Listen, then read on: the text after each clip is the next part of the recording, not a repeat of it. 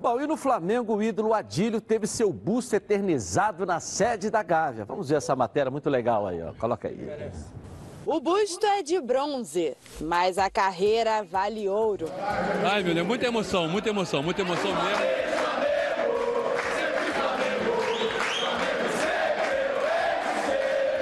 Um dia para entrar para a história, um dia para Adílio ficar na história. Um dia dos avós para nunca mais ser esquecido. Fico muito orgulhosa de ver onde meu avô chegou, ver a quantidade de gente que gosta dele. Ele é incrível como avô, como jogador, como homem. E eu sou muito alegre por ter ele como, como avô e por ser neta da Adília. Fico muito feliz por isso. Depois de Zico e Leandro, foi a vez de Adílio ganhar um busto aqui na Gávea. E quando ele soube que seria eternizado no Flamengo, precisou se preparar muito psicologicamente para esse dia. Foi a atenção, eu contei a parte regressiva e comecei com oito, né? Oito, sete, seis, cinco, até chegar no dia de hoje. Foi demais. Quer dizer, então hoje eu estou tranquilo porque eu me preparei muito para poder, como se fosse uma decisão hoje, né? Papel na mão, camisa e celulares prontos para registrarem cada momento vivido aqui hoje no Flamengo. Pedro, Rafael e Said não viram Adílio jogar, mas estavam ansiosos como numa arquibancada do Maracanã para ver um dos melhores meio-campos da história do Flamengo entrar em campo. Adílio, cadê você? Eu vim aqui só pra te ver. Ídolo. Aí esse aqui é onde ele vai se ensinar. Foram 43 conquistas, entre elas três brasileiros, uma Libertadores e um Mundial. E diante de tantas vitórias, não faltam aplausos nem elogios para esse grande ídolo rubro-negro.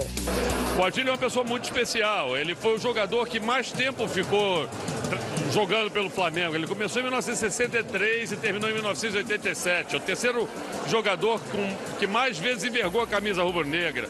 617 vezes. Isso sem falar dos inúmeros gols, dos títulos que ele ajudou o Flamengo a ter. É um pouco da retribuição, eu acho, nessa homenagem ao muito que ele fez pelo Flamengo. Acho que todos nós somos extremamente gratos à enorme carreira, à brilhante carreira que ele fez pelo Flamengo. Isso é só um, um pequeno agradecimento que nós podemos fazer para ele. Fico muito feliz porque além de ter sido um craque, é uma pessoa, uma figura humana excepcional. Então está muito bem feito esse busto e homenagem assim merecidíssima. O Adílio merece muito, é um, é um dos grandes ícones aqui do, do Flamengo. Eu fico extremamente honrado de ver o meu compadre com o busto aqui nesta sala, aonde todo torcedor, quando vem visitar o Flamengo, dá de cara com ele, com o Leandro, com o Zico. Isso para nós é gratificante. O Adílio, a sua educação, a sua, a sua facilidade de jogar pelo Flamengo, ele representa toda essa classe toda que tem, tem o sangue rubro-negro, é o Adílio. Gosto muito dele. Sou suspeito que eu amo o Adílio. Ele merece tudo, porque para mim foi o maior oito da história do futebol brasileiro de todos os tempos. Aos seis anos de idade, Adílio pulou o muro da Gávea para ir em busca de um sonho. E o juiz apitou o início desse jogo da vida, que durou muitos e muitos anos. E que um dos personagens principais acaba de ser eternizado. E apaixonado pelo Clube Regado do Flamengo, né? Um dia eu falei, pô, vou conhecer o Flamengo. Pulei o muro.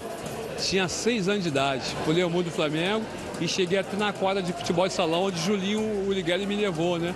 Lá eu fui apresentado ao treinador lá de futebol de salão na época, né? E aí eu peguei o, o colete do, do, time de experiência, né? Aí eu marquei quatro gols, no outro dia eu estava como titular do time, né? Então ali que começou essa minha história aqui do Flamengo. Foram 24 anos de clube aqui, né? Minha netinha sabe disso, só três cartão amarelo e nunca fui expulso.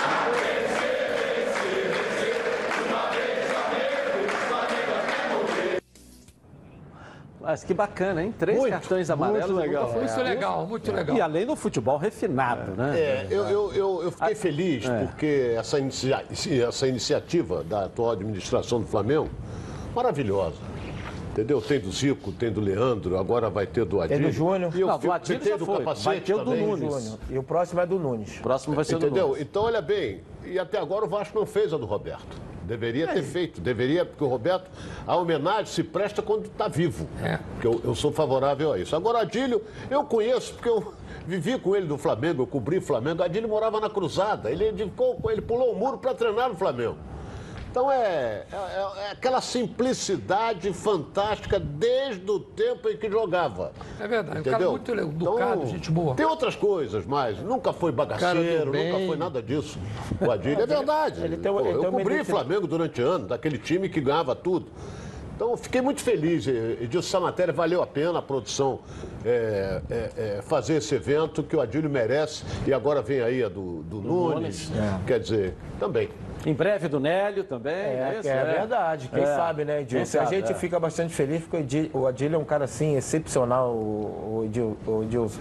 O convívio com ele, hoje a gente convive lá no Master, a gente joga com ele, e ele tem uma ligação muito forte com o Flamengo, como o próprio Ronaldo falou, que ele morava ali na Cruzada, pulou o muro para poder fazer Jogou teste, muito, né? Jogou poder fazer... muito, né? E o Adílio foi assim, muito, o né? Edilson, a primeira vez que eu fui no Maracanã, o Flamengo tinha- era recheado de craque, como o próprio Ronaldo falou, mas aquele jogador que mais me identificou, que mais, assim, eh, me encheu os olhos foi Adílio, né? Até pelo jeito que ele jogava e pelo jeito que ele comemorava, que ele ia lá na, na geral. Então, a gente tinha uma, uma, uma, uma, uma ligação muito forte com os torcedores. Eu acho que mu- muito merecida, principalmente, mais uma vez, a diretoria do Flamengo, tá de parabéns por essa justíssima homenagem a esse grande craque, pessoa e ser humano que se chama Adílio. Só lembrando, né, Nélio, que o Flamengo na época treinava na Gávea.